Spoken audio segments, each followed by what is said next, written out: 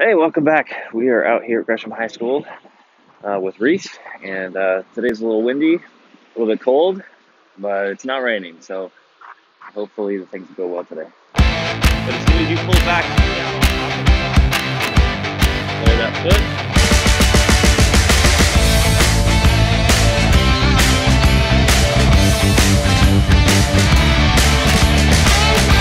All right, Reese. Is it cold enough for you? Yeah, cold enough for me.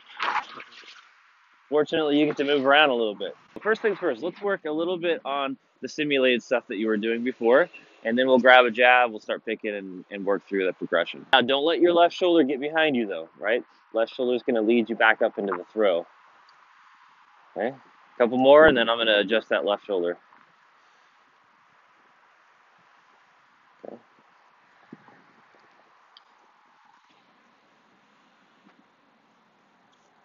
Okay, good. So right side looks good. Let's fix that left side. So get, get back into that throwing position. So remember, this left shoulder is going to come up here towards me. Okay, the left shoulder can't be behind you. See how far behind it is? There you go. Right. Oh, I forgot. You got to make the. Yeah. Okay. So rock back, same thing. Get that right side going, and then the upper body is going to move forward. That's it. Perfect. Okay. Still a little behind. So think about it. That left shoulder is going to move towards me to finish the throw. So keep the right hip moving, and then that left shoulder is going to lead you up. That's it. Good. Keep same thing. Okay. Move that left shoulder towards me. That's it. So, do you notice the difference in travel? Right? The length of pull that you get when that left shoulder allows you to move up is is significant. I mean, probably another foot, foot and a half, right? But as soon as you pull back here, you can't push and accelerate the throw anymore, right? The throw has to be a pull every single time. The the release of the throw happens someplace above the head, not generally too far in front of the head. I want you to give it a throw, and then I want you to do three simulated throws, and then grab another jab and do another throw. Okay? So just let them fly wherever. It doesn't really matter to me. I just I'm looking at right side unwinding, and then that left shoulder is moving you up to the top of your throw, not pulling back. Okay?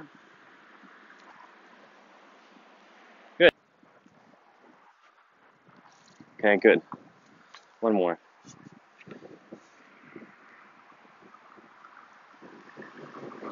Good.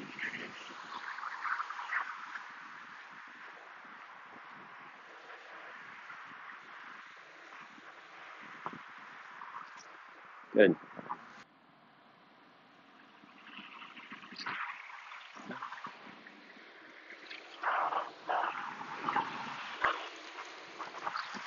Okay, do it again.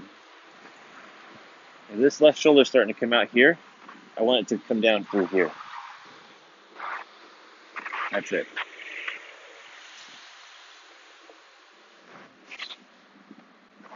That's it.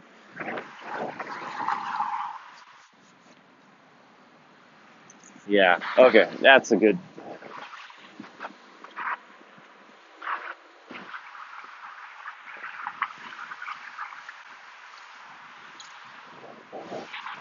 I'm gonna have you throw these next two in a row. Same same idea. That left shoulder is gonna drop just a little bit down onto the left. Don't pull away from it. Yeah, it's coming around the body just a little bit.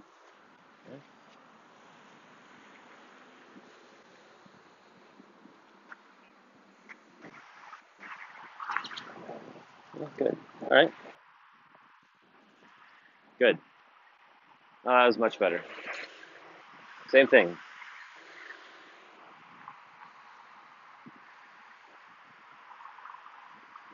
Good. Set your posture.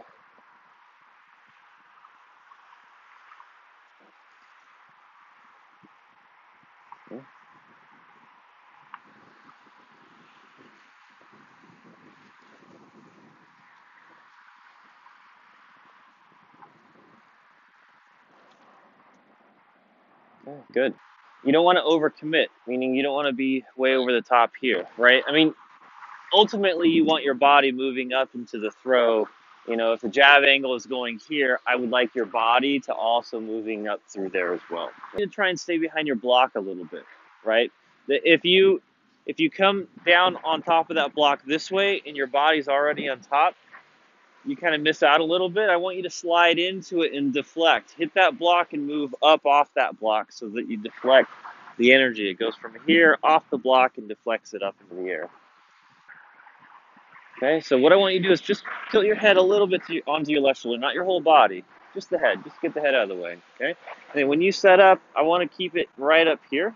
Okay, sometimes you get the javelin down here, and when that happens, you have to move. Yeah, you have to move the hand or the the arm out from the body, and you want to be able to move the hand along the shaft of the jab as you're throwing. Right. So go ahead and get set up. Tilt your head just slightly out of the way. There you go. You're going to rock back now onto that back leg and keep it here. Okay. Nice throw. Oh, it's very clean. Yeah. Same idea. Just keep it a little higher than you would comfortably do.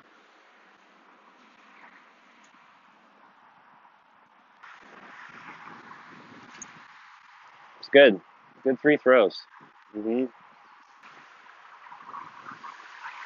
Sometimes it's uh, it's good to just make those little tiny adjustments just to clean up the throws because if an athlete has just a series of really bad throws and never really cleans things up, um, they just get discouraged and get distracted by it.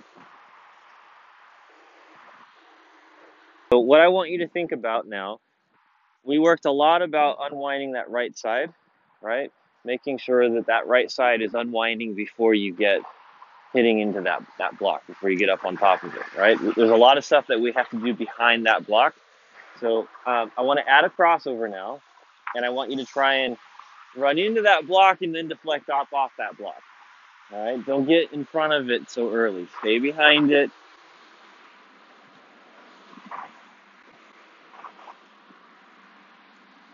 Just like we were doing inside, just subtle little crossover. Don't try and make make it into something too big here.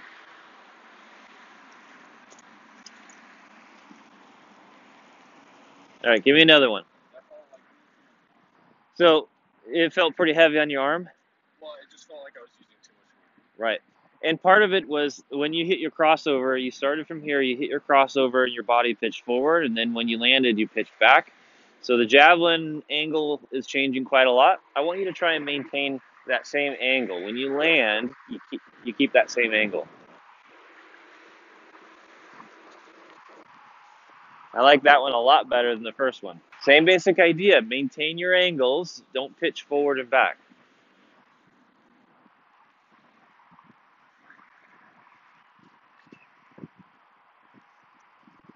Okay. Not bad. Jab's dropping just a little bit and you're pulling away to the left. Okay. Sometimes when the jab drops low, you got to get your body out of the way in order to produce your throw, right? So we'll make an adjustment. The idea is stay back as you hit your cross, you're going to keep that same rearward lean. And again, you don't have to make these massive, right? I just want it to be a comfortable throw, maintain those angles. Good, a little high, there you go. Okay, good, next one. I think, yeah, your feet look pretty good. I, the only thing that I would say is that you're dropping the jab down to your cheek. You got to make sure it stays up there. Your your arm needs that that range of motion, that pathway to, to throw through. So tilt the head just slightly to the, the left and then lift the hand. There we go. Yeah, oftentimes when you hit a crossover, your body's moving up, right? And as soon as you come back down from that crossover, the javelin follows you down, and then you're trying to move up against it. So the idea is you're trying to keep that javelin in a position, no matter what your body's doing, in a position that you can cleanly pull through. Don't let the javelin follow you back down to the ground as you're trying to move your body back up.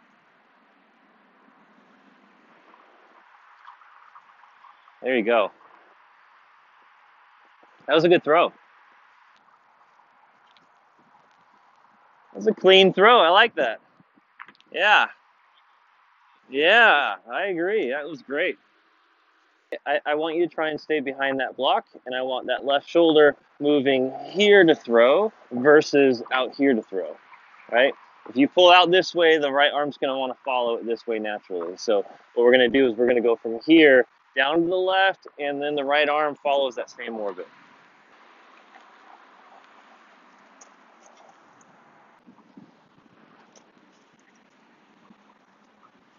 So you gotta lift that hand a little bit. So I can see it from this angle. So go ahead and get set up. When you land from that crossover, this arm, and, and actually your entire body has a tendency to, to tilt back.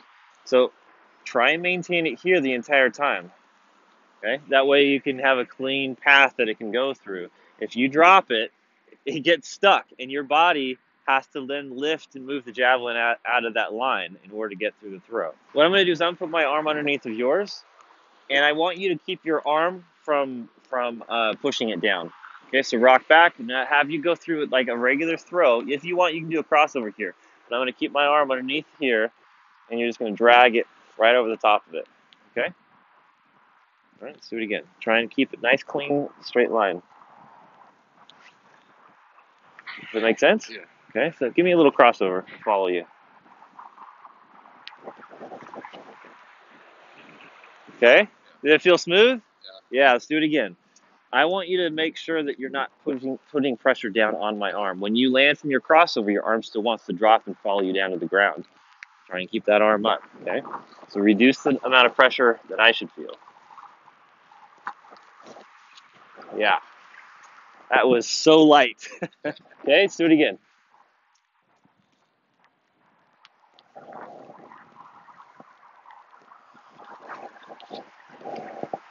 There's a little bit of a teeter on that. Try and maintain it.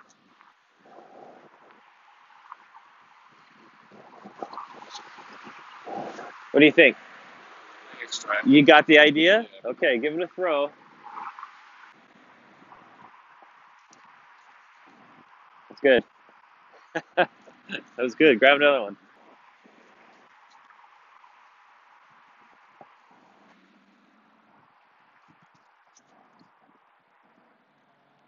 How'd that feel? Way better. Way better. That was good. Same thing. Keep that hand just a little, a little bit higher when you come down from your crossover. Maintain your angles. Nice throw. It's good.